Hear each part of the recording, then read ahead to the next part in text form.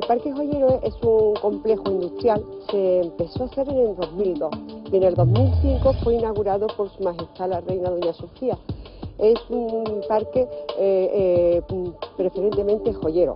Eh, las industrias que hay aquí son prácticamente todas de joyería, aunque también hay, están las industrias afines a la joyería, desde los fabricantes, los laboratorios de contraste, las refinerías, proveedores de metal.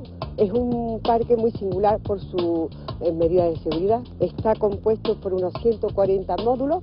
Es un parque que puede aparentemente pensar que es muy cerrado pero luego es un lugar que se puede naturalmente visitar. De hecho, se está ya organizando visitas eh, en turismo, grupos turísticos que vienen y desean ver pues un complejo como este que naturalmente resulta interesante. Mira, la joya cordobesa es un tipo de joyería que tiene más de cinco siglos. Se ha realizado siempre en talleres muy artesanos, que era una profesión que se le daba de padre a hijo.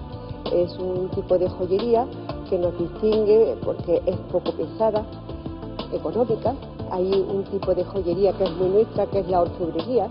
Es una joya que hasta los 70 fue mm, muy artesanal.